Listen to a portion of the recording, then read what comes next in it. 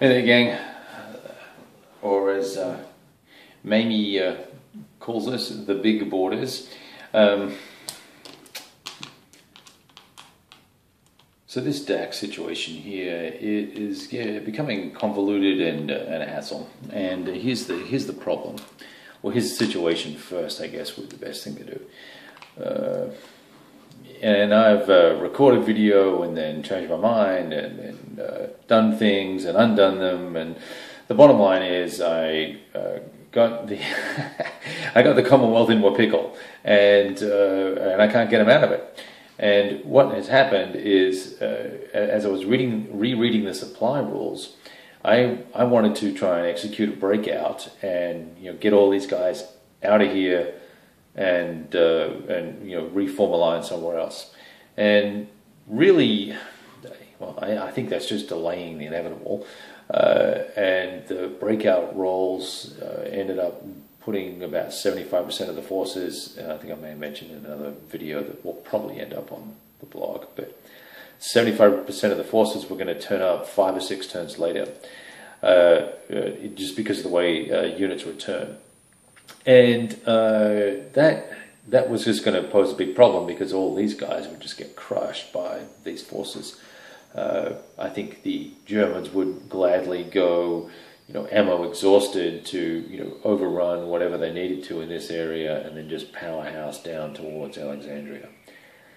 So I looked at the rules. I was like, you know, this just doesn't seem right. So uh, I don't want to. I don't want to do this breakout here. Let me just look at the attrition rules and uh, so what happened was I kind of skipped from the breakout phase, which is the beginning of the turn, to the attrition phase, which is uh, you know part of supply, and so I missed you know the whole movement section and all the rest of it. And you can laugh at me as to why that happened, but it just did. It's late. It was one o'clock in the morning or something like that, and I'd spent an hour looking at you know options for everybody and ways around things. So I, you know, I went ahead and rolled for attrition. put everyone back from the breakout, rolled for attrition, and then of course, you know, I didn't really need to do that just yet. The bottom line uh, was, you know, I still had some T uh, here, uh, some supply here, and I could fly in uh, three T in that given turn, which would keep pretty much everybody in supply in this pocket and then we just have to roll for attrition for the big stack of uh, Commonwealth forces that were here, and they survived.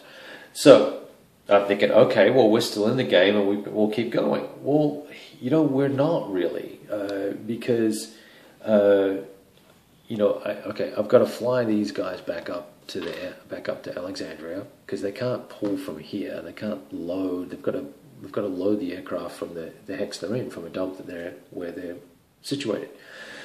So there's really probably shouldn't have put those T two two T there. So you can see already it's starting to get freaking convoluted. But the worst problem is all my trucks are in Mersa, and that's just where they ended up when they were cut off.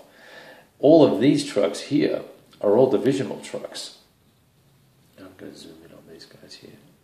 You know, there's a nice big pile of divisional trucks. That's fantastic. Well, it's no use to me and trying to move supply up. They're all full, uh, but I have barely any divisional units here at, at all. Uh, I've got you know one South African guy, but to fuel all these uh, tank regiments and bits and pieces, there's one one more guy there.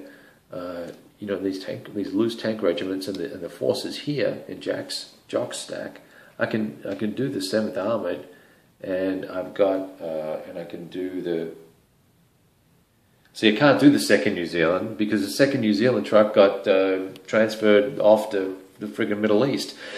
Bottom line is, I'm, well, and there's another bottom line. So that's two bottom lines. That's how serious this is, right? So I, am screwed, I think, as the uh, Commonwealth player.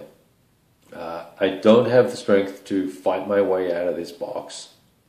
I don't have trucks here to conveniently and easily supply my forces.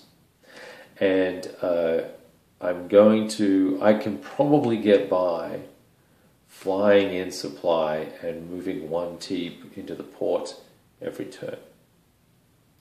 Uh, but that is go. That port will be closed in uh, you know, probably uh, the end of this term, which would be the end of the, the 1st of September. We're still goofing around with 1st of September.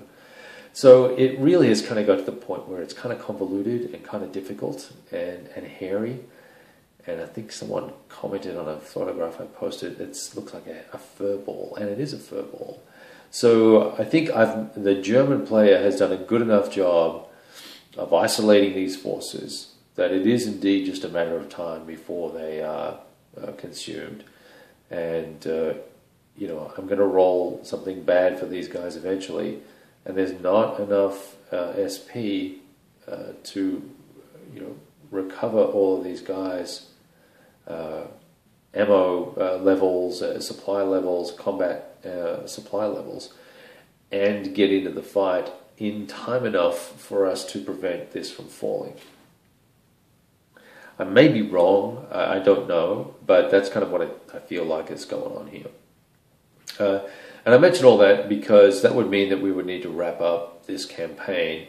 And, you know, I was very, very reluctant to do that because it is just so enjoyable and I really don't know that I'm ever going to get to play this again. So it's kind of a sad thing as well.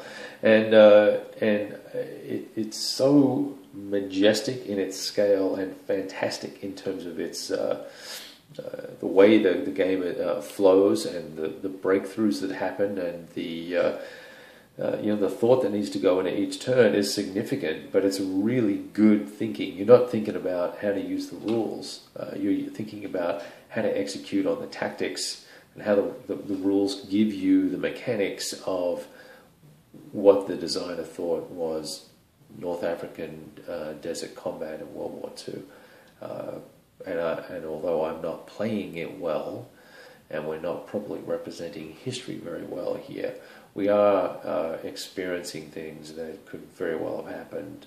Uh, you know, it's those uh, those little breakthroughs that matter, and then how you exploit them and take take advantage of them, and where you choose to bring the force to bear.